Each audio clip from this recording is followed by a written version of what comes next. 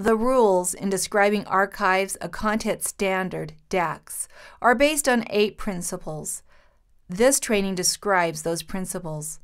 The principles in DACS fall into four categories 1. The nature of archival holdings. 2. The relationship between arrangement and description. 3. The nature of archival description. And 4. The creators of archival material. It is crucial for you to understand the nature of archival materials in order to adequately arrange and describe them. Archival collections are the natural result of the activities of individuals and organizations. This creates a distinctive relationship between the records and archives and the activities that created them. Principle 1 highlights the interrelatedness of archival materials and states that records and archives possess unique characteristics. Because the materials were brought together through a natural process of aggregation, even if they contain published or mass produced materials, the archives remain unique as an aggregate unit. This is different from the library world, where items are what are unique. In an archival sense, it is the aggregation of materials that is unique. Principle 2 states that respect de fonds is the basis of archival arrangement and description.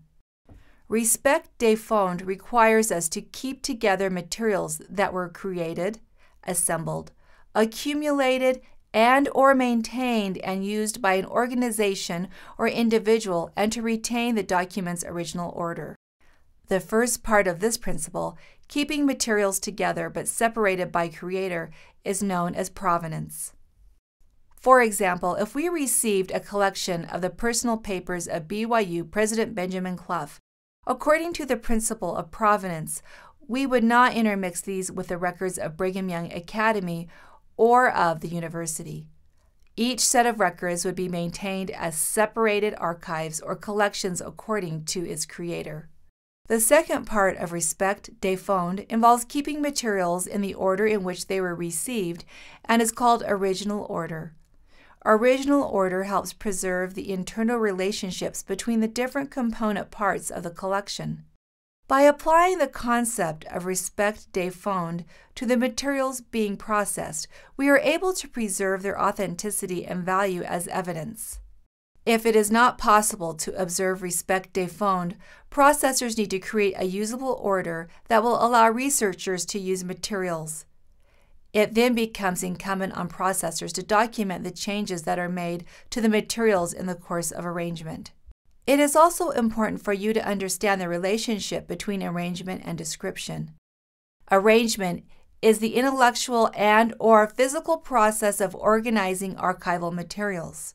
Description is the process of recording information about the arrangement of archival materials and the context of their creation. Principle 3 states that arrangement involves the identification of groupings within the material. The first step in archival arrangement is to identify these groupings as they were established by the creator. These major groupings may then be subdivided to the level described. The uppermost grouping or level of arrangement is the collection itself. Major divisions within the collection, typically termed series, can often be identified by the nature of the materials. The series may then be divided into subseries, which can then be redivided into component subseries if necessary. Within a series or subseries, the next level of arrangement is the files, which may be any number of folders in size. Each file should contain a group of documents related by topic or use. Then, Finally, within the folders are individual items, the lowest level of arrangement possible.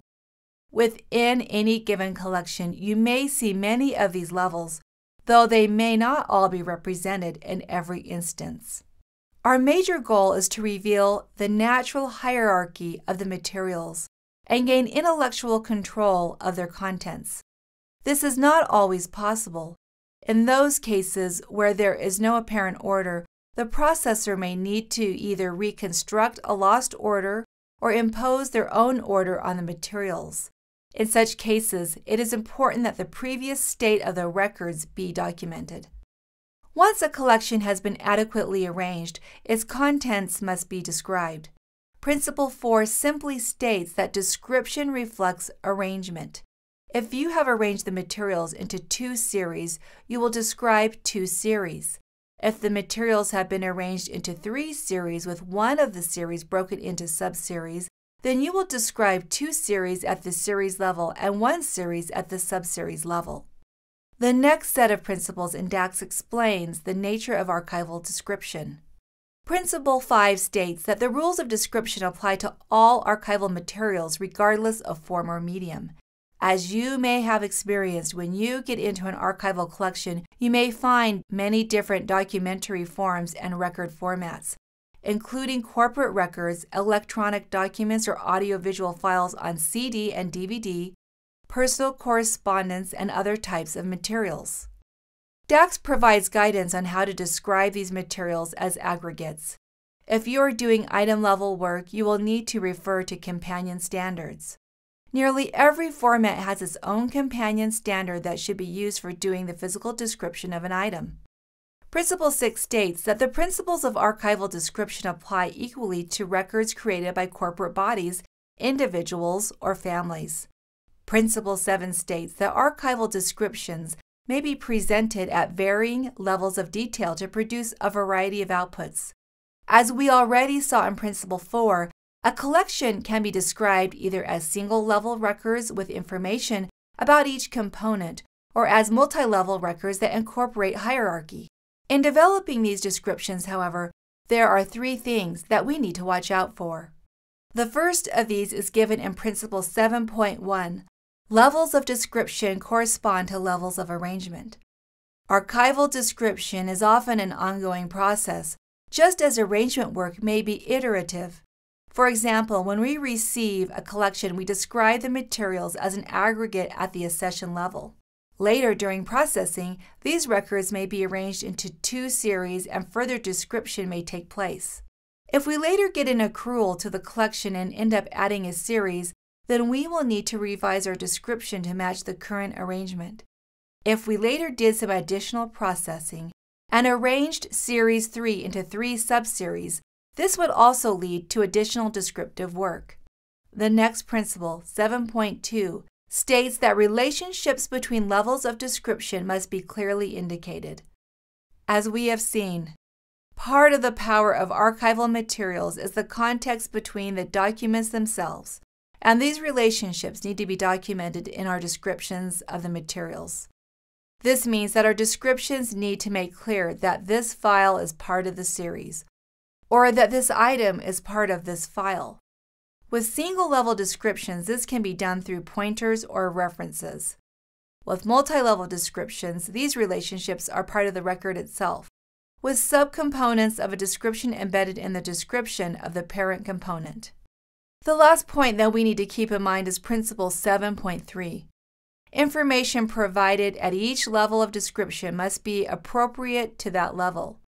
Looking at two components of a multi-level description in this example, we can see that the collection level title, date, extent, and scope note is specific to that level.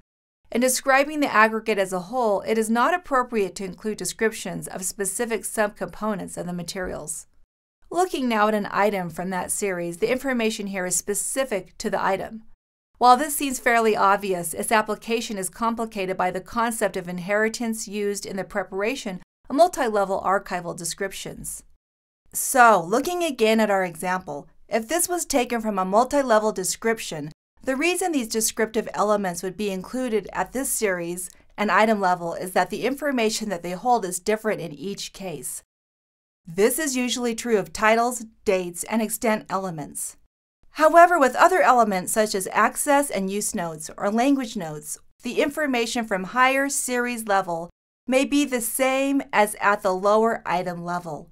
In these cases, those elements are not provided at the lower level and are assumed to have been inherent from their parent. The final principle given in DACS, number 8, states that the creators of archival materials as well as the materials themselves, must be described. By recording information about creators, we are providing additional context for understanding the materials themselves.